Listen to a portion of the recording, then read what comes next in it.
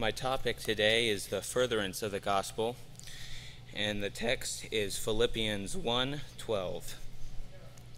But I would ye should understand, brethren, that the things which happened unto me have fallen out rather unto the furtherance of the gospel. Now, this whole letter Paul has written from prison.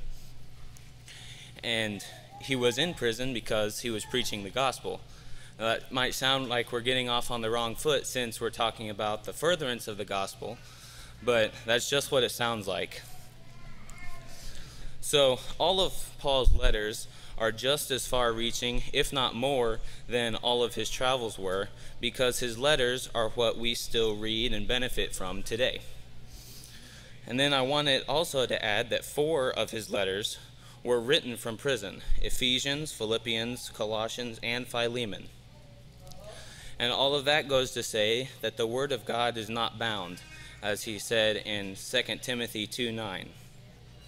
This is just the nature of the gospel. It excels, and nothing is going to or can stop it. The furtherance of the gospel is God's work. If men were in charge, there wouldn't even be a gospel. Adam and Eve would have been created, and everything would have gone on forever, happily ever after. But God has not done it that way. He has worked everything out to show his great power and wisdom, and the work of the gospel is no exception. God is the drive behind this work, and since he didn't make everything happen perfectly, like men would say it happened perfectly, he has done a lot of behind the scenes working to where everything works out for the good of his plan. But God isn't the only one that's involved with this plan. He has employed men like Peter and Paul to preach. And because they are truly committed, they, think, they say things like Paul did in Romans 15:20, I strive to preach the gospel. Amen. Men plant and water, and God is the one who gives the increase. But planting and watering is not a small job. God has called us to go into all the world and preach the gospel to every creature. Now, a call like that requires dedicated workers, and that is exactly what God has made. Paul's whole life was dedicated to preaching the gospel. And a little bit after our text in Philippians 1 23, it says, For I am in a strait betwixt two, having a desire to depart and be with Christ, which is far better. Nevertheless, to abide in the flesh is more needful for you. And having this confidence, I know that I shall abide and continue with you for all your furtherance and joy of faith, that your rejoicing may be more abundant in Jesus Christ for me by my coming unto you again. Paul was willing to stay in this world and to help all of these brethren to increase in the gospel instead of going to be with Christ, since that was the will of God.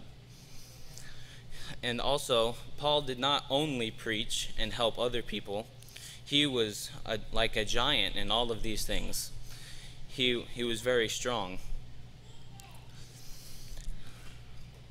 Everything that Paul did in himself and in other people increased the gospel.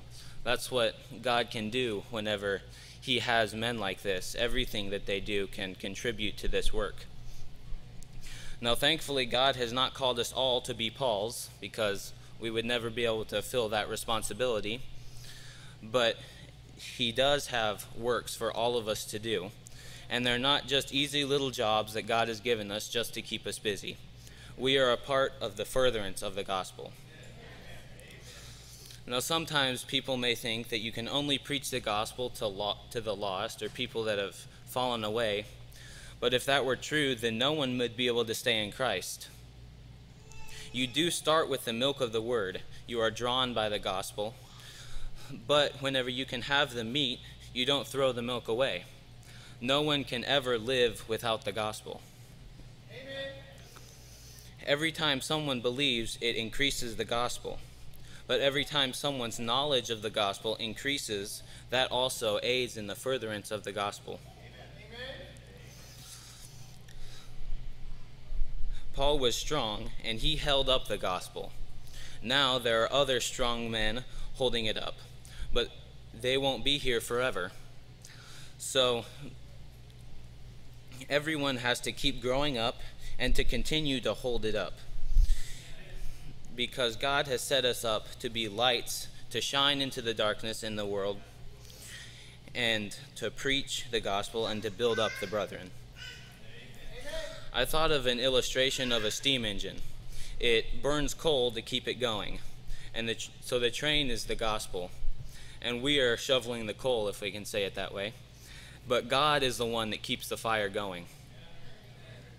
So whether you are pressing on in the gospel and sharing it, or if you're not, it's going to keep going.